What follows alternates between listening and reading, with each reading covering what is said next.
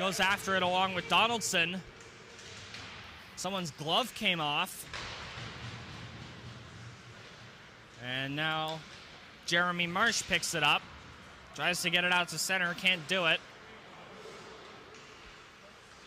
That was Ruchala that lost his glove there. He's trying to get it back. Then he lost his stick.